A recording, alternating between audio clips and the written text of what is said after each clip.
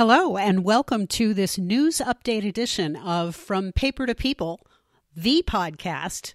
I'm your hostess with the mostest, Carolyn Nee Lachlan. My goodness, are we at episode 311 already? Wow. Welcome to anybody who may be new to the podcast. If you are, I hope that you will listen from episode one. This is just a quick note, a couple of things that are going on right now that I want you to know about. The first is somehow for some reason that I'm not quite clear on, a bunch of Twitter bots decided to attack my Twitter account. And as a result, I am temporarily suspended.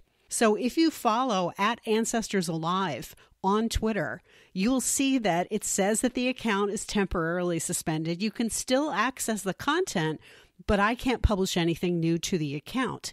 And that's problematic. So, Twitter's supposed to be calling me with a verification that's going to allow me back in at some point. And when I try to invoke that, I don't get the phone call. Very, very frustrating stuff. I have been tweeting at them every day from other accounts, and I still can't get an answer. So, I've set up a new Twitter account and I'm starting from scratch. I have 100 followers. I used to have 1,500 it's really kind of sad and scary because I put in all that work and now it seems to be at least temporarily gone. So, if you want to follow me, still follow Ancestors Alive because that account may well become unlocked sometime within the next year or so if Twitter ever bothers to get back to me. In the meantime, I am now at FPPP Podcast. And that is how you can find me on Twitter right now. I'm slowly rebuilding.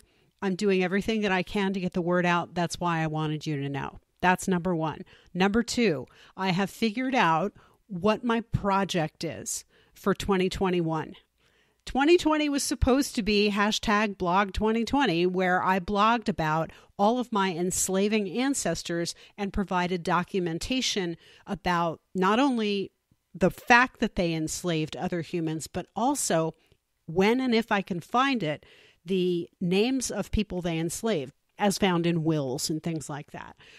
Unfortunately, COVID did a number on a lot of things, including on my genealogical work. And I am now serving as a Lexis researcher for the New York State Contact Tracing Initiative. First, I was a contact tracer calling people hard work. But now I have switched over to a different workflow.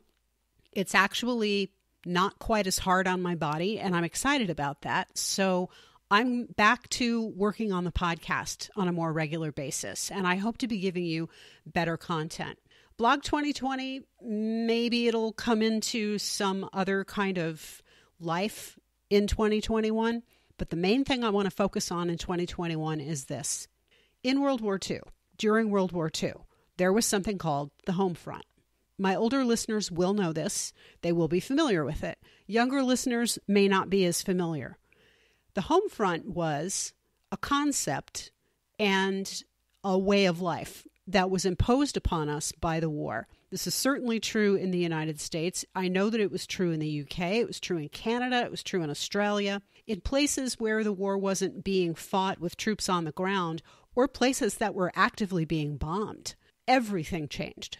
So if you weren't actually fighting the war on your property, you were fighting the war in a different way. It wasn't with guns and bombs and airplanes, it was with rationing and victory gardens to grow your own food. It was with recycling scrap metals in order to help enable the war effort to build armaments. It was women working in places they had never worked before, like shipyards. Women worked in factories. Work changed for women. Men went to war. Women handled the means of production and the production of bullets and airplanes and uniforms and all kinds of things that they hadn't really been involved in before in the economy. And I'm thinking right now specifically of the United States.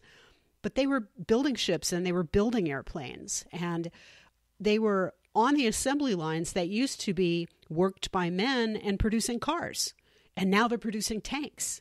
It was an amazing change. People canned food in a way that they hadn't done for generations. People were involved in the war and the war effort in a non military way. And life changed. There were rationing books, and food was rationed. Certain kinds of products were reserved for the military and for the forces who were fighting in both the European and the Asian theaters. And as a result, the quality of life changed for Americans, for Canadians, for people in Australia. I want to talk to you about your family's involvement in the home front. What family stories do you have? What kinds of changes occurred in the way that your family ate because of rationing, because of victory gardens, because of deprivation of certain kinds of products not being available? Recipes came into my family during the war as a result of people having to cook primarily with canned foods, either foods that they purchased canned or foods that they preserved themselves. But things changed. The idea is that along with that, along with those privations that were specific to that time, that place, and that set of circumstances, was a sense of unity, was a sense of community, was the idea that people were working together toward a common cause. They were working together to beat Hitler, to beat Mussolini, to beat Hirohito, to beat fascism. And as they were working to beat fascism, they were willingly saying, I will do without butter. I will eat margarine from a bag instead. I have a margarine story that I'm going to end up telling, and that's part of it. I will make these sacrifices in order to serve the war effort, in order to make sure that Hirohito and Hitler and Mussolini are beaten. Here's another thing some people actively participated in the black market. And in doing so, they got unfair shares of meat and dairy products, eggs, all kinds of things. And I'm wondering how many of you out there have stories from your parents, your grandparents, your great grandparents that involve how they did or did not participate in these events and in these privations and how they affected their lives. Why is this important to me right now? because I see a parallel between being willing to eat foods you would not normally eat or grow food when you did not grow food or work in a place that you definitely would not have worked in and what we're dealing with now with the COVID 19 pandemic. Right now, we have to wear masks. Right now, we have to social distance. Right now, we have to sacrifice being with our friends and relatives because to do so is to endanger public health. I say this as a contact tracer. I say this as a researcher for the New York State Initiative. It is not a political statement, it is a statement of fact. We have to do these things. And I don't understand fundamentally why it is that anybody would see it any other way because it's science and it's medicine and it's reality over 300,000 people have now died in the United States as a direct result of COVID 19. And some of them were my friends and family of my friends. And I take that seriously. I take it very, very seriously. I want to understand how it is that the time when people pulled together and that is storied, the time that is called the era of the greatest generation parallels with what it is that we are trying to do now. What did they have to fight against in terms of the black market that we are fighting against in terms of people who are anti vaxxers and people who are COVID deniers and people who are anti mask? The simplest thing in the world, wearing a piece of cloth over your face. I want to have these discussions and I want to have them throughout the year. And I want us together as an international family to consider these ideas and to think about what it is that we can learn from how our ancestors handled the war.